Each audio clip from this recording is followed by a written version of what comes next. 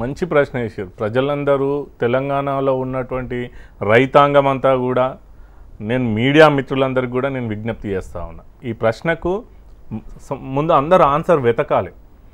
ఈరోజు వ్యవసాయం అంటే వానాకాలంకు ముందే వానాకాలం పంటలు వేసుకునే కంటే ముందే రాష్ట్ర ప్రభుత్వం ఈ విషయం చాలా స్పష్టంగా చెప్పాలి.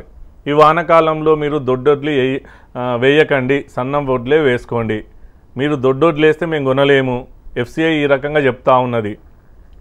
అనే విషయము రాష్ట్ర ప్రజలకు అంటే తెలంగాణ రైతాంగానికి మొత్తం కూడా స్పష్టం చేయాలి ఈ ప్రభుత్వం. మీరు అన్నట్టు రేపో మాపో దిగుబడి వచ్చేటువంటి పరిస్థితులు ఉన్న నేపథ్యంలో ఇప్పుడు మేము కొనము అనేటువంటి వాదనను బలంగా తెర మీదకి తీసుకొస్తా ఉన్నది. ఇంకొక నెల రోజులైతే ఎక్కడికక్కడ పంటలన్నీ కూడా మార్కెట్లోకి వచ్చేటువంటి అవకాశం ఉంది ఇక్కడ ఒకటే ఒక కుట్ర. హుజరాబాద్ ఎన్నిక కుట్ర. హుజరాబాద్ ప్రాంతంలో అక్కడ ఎస్ఆర్ఎస్పి ఏదైతే శ్రీరామ్ సాగర్ ప్రాజెక్ట్ కింద వచ్చేటువంటి కాలువ ఏదైతే ఉందో కాలువ కింద చాలా అక్కడ హుజరాబాద్ ప్రాంతంలో కెనాల్ కింద వారేటువంటి భూములు చాలా ఉన్నాయి.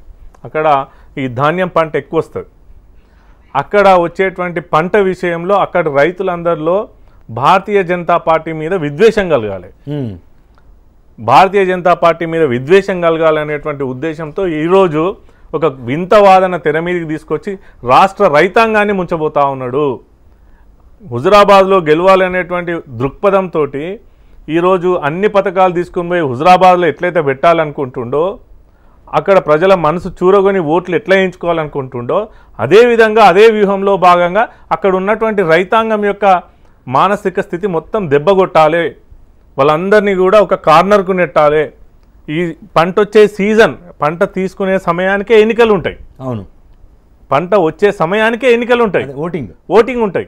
అక్కడ ఓటింగ్ ఉంటుంది. మొత్తం హుజరాబాద్లో పంటంతా కూడా ఆ, మార్కెట్కి వచ్చే టైంలోనే అక్కడ ఎన్నికలు ఉంటాయి. అవును. అక్కడ ఆ గొడవ స్టార్ట్ అవుతుంది ఇదంతా బీజేపీ సృష్టి కాబట్టి మేము కొనలేకపోతున్నాం అంటే అక్కడ ఉన్నటువంటి రైతాంగంతో అంతటితోటి ఆ రోజు అక్కడ ఉవ్వెత్తున వ్యతిరేకత క్రియేట్ చేయడం కోసం కేసీఆర్ పన్నిన కుట్ర ఇది.